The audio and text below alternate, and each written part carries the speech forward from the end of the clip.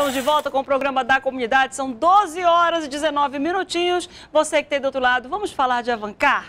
Facilidade é a palavra que o Avancar leva para o seu dia a dia. Os melhores estabelecimentos da cidade estão com o Avancar para melhor atender você.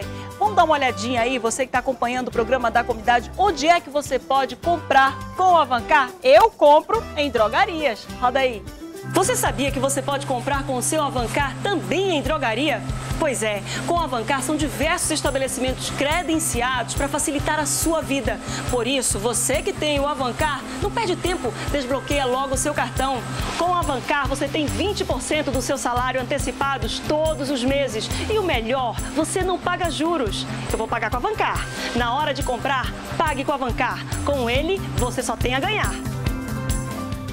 Seja no café da manhã, no almoço, ao abastecer o carro, na hora de levar o filho ao dentista, quem sabe um salão e uma roupa nova. E à noite, jantar em família ou com os amigos em todo lugar que você imaginar. O Avancar vai estar lá para facilitar o seu dia a dia na hora de pagar. E sabe onde você pode consultar todos esses maravilhosos estabelecimentos que fazem parte da rede credenciada Avancar?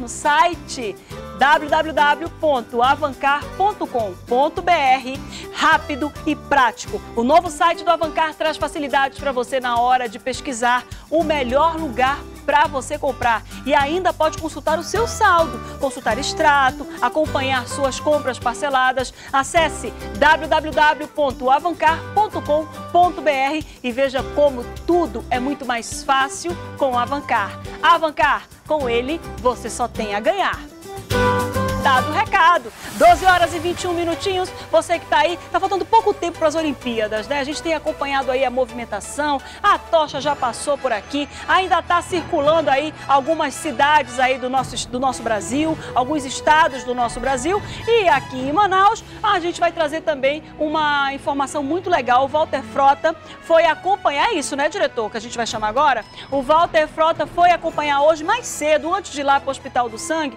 como é que está a movimentação aí para uma para a Olimpíada. Muito show para você que está acompanhando o programa da comunidade. A gente vai trazer aí, porque o, a intenção é colocar os jovens para praticar esportes e principalmente aqueles que têm, que são pessoas especiais, também interagir e integrar esse grupo de esportes aí que devem ser praticados. E o Walter vai trazer para a gente na tela do programa da comunidade. Walter? Pois é, Marcelo Asmar, eu estou aqui na Mini Vila Olímpica do Coroado, localizada aqui na zona leste de Manaus, para apresentar para você e para você de casa a nona edição do Transforma. E quem vai explicar melhor para a gente é o coordenador do evento aqui, o Wendel Marques. Wendel, esse evento já é a nona edição e já passou por várias zonas da cidade, sempre levando muita gente, bem trazendo muita gente. Né? Sim, sim. É, o projeto acontece da seguinte forma, acontece, na, tem uma parceria com a SEDUC, com 50, 50, 55 escolas da SEDUC, e o projeto é, Transforma é dentro das escolas, os festivais é o que está acontecendo aqui hoje, que é nas, nas, nas localidades de Manaus. Entendeu? Hoje nós já atendemos 10 mil crianças, sendo que essas 10 mil crianças nós conseguimos capacitá-las para estar no alto rendimento 50 crianças e a, a perspectiva de, de, atendimento é para 15 mil crianças. Se essa, essa, essas três datas que faltam a ser feitas forem estendidas, a gente consegue colocar mais pessoas dentro das, do, do alto rendimento e assim fazer um cidadão melhor. Agora tem um negócio muito interessante aqui, que é essa integração das crianças atípicas com as típicas, né, que vão participar aqui das modalidades paralímpicas. Hoje nós estamos 15, 15 modalidades paralímpicas. Hoje o evento só é para o povo paralímpico, mas nós temos crianças que não têm nenhuma, nenhuma, nenhuma é, é, físico, né? que estão, estão tendo a vivência de fazer uma atividade paralímpica para ver como que é, para ter esse, esse, esse vivamento de, de, de, de esporte limitado. Quais são as modalidades hoje? Hoje nós temos bocha, cadeira de roda, é, é, goalball, hipismo, judô, rugby, luta olímpicas e outras. Agora é impressionante que as pessoas, que as crianças aqui, os adolescentes típicos, quando se deparam aí com as dificuldades que, a, que, a, que os, para, os paralímpicos, né, que os atletas paralímpicos enfrentam no dia a dia, eles ficam assim impressionados. Né? Eles veem como, como é difícil fazer essas modalidades com essas, com essas limitações. Então a vivência é para isso. Um dos objetivos hoje é isso, é fazer com que eles tenham essa experiência da limitação. E agora, a gente pode já prever onde vai ser o próximo evento? 22 de agosto, local a ser escolhido ainda. Ah, é? Isso. Legal, Wendel. Obrigado pelas suas informações. Vou conversar agora com o secretário da Sengel, Luiz Neto. É, Luiz Neto, esse evento sendo realizado aqui na Mini Vila Olímpica do Coroado também envolve toda, toda a comunidade aqui próxima e também as pessoas que de Manaus toda que vêm participar aqui, né? É um evento que envolve muita gente, né? A gente consegue atingir toda a cidade de Manaus, né? Envolve muita gente de escolas, os alunos vêm para cá participar, principalmente aqui das escolas adjacentes, vêm ver o que é o Transforma. E a gente se coloca à disposição para que todas as edições do Transforma aconteçam aqui, porque temos um espaço de excelência para usar num projeto como esse, um projeto motivador, empolgador, faz com que as pessoas voltem a sonhar. E com isso, a gente consegue incluir verdadeiramente essas crianças que estavam à margem de, dos esportes, à margem das atividades esportivas e hoje eles fazem parte. E hoje eles são contemplados pelo público que vem prestigiá-los. O bacana é que é um espaço amplo e aonde todas as crianças, os jovens que estão aqui participando, podem participar de piscina, campo de futebol. Aqui atrás tem um tatame já que improvisaram. Aqui tem outro esporte que é a bocha. São vários esportes. É um espaço que realmente que a comunidade tanto quem mora aqui próximos aqui da, do bairro do Coroado, quanto de Manaus, podem vir participar em todos os momentos. Né? Sempre pode vir participar, estamos de portas abertas, venha conhecendo nossa mini Vila Olímpica. Nós estamos com as piscinas, quadras, campos e todos esse, esse espaço à disposição da cidade de Manaus para juntos fazermos a prática esportiva e melhorar e termos uma vida mais saudável. Muito obrigado pelas informações. E ó, lembrando para você de casa, você que mora aqui próximo ao bairro do Coroado, aqui nos bairros vizinhos aqui ao Coroado, pode vir participar. O evento evento vai até ao meio-dia. Eu volto com você ao estúdio.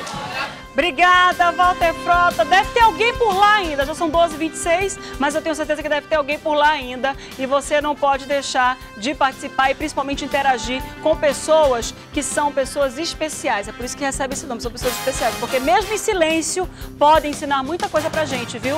Vamos ficar atento aí e vamos ficar esperto. Como é que uma criança dessa que não fala ensina pra gente? Ensina na bondade do pai em cuidar dele, ensina na bondade da mãe, na bondade dos familiares e pessoas pessoas como estes aqui, pessoas como estes aqui, que dedicam seu tempo só para dar um pouco de diversão para essas crianças que muitas vezes não ficam nem em casa. Era aí que devia estar aquela mãe louca que fez aquela maldade com a filha dela de 14 anos. E não agarrada, atracada no pescoço do macho para poder fazer maldade com a filha. Enfim. O que, que vem pela frente, diretor? Olha só, gente, uma amostra de games estudantes, estudantis, estudantes da rede pública estadual apresentam jogos desenvolvidos em sala de aula. Esse professor é esperto, né? Ele junta o que os, que, que os meninos gostam e fala assim, olha, vocês vão ter que botar a criatividade de vocês para funcionar é aqui dentro. E olha só o resultado, Priscila Mello, agora na tela. Pois é, Márcia, a segunda mostra de games tem o objetivo de fazer atividades eletrônicas com os alunos. Por aqui, mais de 10 jogos foram desenvolvidos pelos próprios estudantes da rede pública estadual. Agora eu vou conversar aqui com Robson James, que ele tem 18 anos e ele desenvolveu oito jogos por aqui. Então, Robson, fala um pouquinho para mim qual a importância de participar da segunda mostra. Ah, essa mostra é muito importante. Eu poderia até dizer para minha carreira, porque aqui no projeto a gente desenvolve a metodologia FEDAT ela trata os alunos como se fossem profissionais. Então, quando o professor lançou a proposta para a gente, nós como profissionais, a gente foi procurar os meios para proporcionar esse evento. E nós tivemos a total liberdade para procurar, é, para desenvolver o design, procurar patrocinadores e tudo mais. Então isso acarreta muito, porque é como se a gente já fosse tratado como profissionais aqui. Tá bom, obrigada, Robson. Olha só, Márcio. É, além deles terem um incentivo na carreira profissional, como o Robson disse, eles também têm um incentivo no estudo, porque aí eles acabam gostando das áreas exatas, como física e matemática, por exemplo. A mostra começou hoje, vai até amanhã, de 8 horas às 4 horas da tarde, aqui na Escola Estadual Senador Petrônio Portela, aqui no Dom Pedro. Volto com você no estúdio. Obrigada, Priscila. Olha só a importância disso. Esse professor, ele faz com que o aluno aprenda software e hardware na mesma, na mesma hora. Porque todos esses videogames precisam de um programa. Lembro das nossas aulas. Tá vendo o Nelson ali, ó? Tô me lembrando das nossas aulas. Só lembro do Fernando nessa hora, olha, ensinando algoritmo pra gente, né, Nelson? Ó, software e hardware. Falei direitinho, Nelson? É mais ou menos isso, né? Porque ele precisa fazer o programa, desenvolver o programa para poder colocar esse programa para funcionar naquela placa, não é isso? Que a gente tem que ficar soldando ali. Eu já fiz, já fiz informática, eu tinha aula de eletrônica. Era uma luta. Nosso sonho naquela época, né, Nelson? Era ter um... Como é que era o nome daquele aparelho que derretia ali? O uma soldazinha pequenininha, um ferro de solda para poder fazer a solda dos pontinhos ali, criar uma placa de um computador. Presta atenção. Aí eu caí na real, que eu nunca ia aprender a fazer aquilo, saí da escola, né? Saí platinada, colou meu platinado e ó, me pirulitei. 12 horas, colou minha placa, né? Colou minha placa. O Nelson terminou ainda, leso. Agora olha aí que tá fazendo o quê? Editando e sendo cantor. Tá vendo, besta? Terminou, né? Tu fez os quatro anos de informática, não foi, Nelsinho? Vem pra cá, Nelson, fazer agora premiado comigo? Não? Tá bom, deixa pra lá. Frango não! Eu quero uma torta de chocolate da Doce Torta, é isso que eu quero. Tem intervalo, diretor, ainda? Virgem Maria! Liga pra cá, 3307-3951 e 3307-3952 pra você ganhar uma torta show de bola da Doce Torta. Quando você ligar, não diga alô, diga Doce Torta. A gente vai pro rápido intervalo e volta já já, não sai daí não.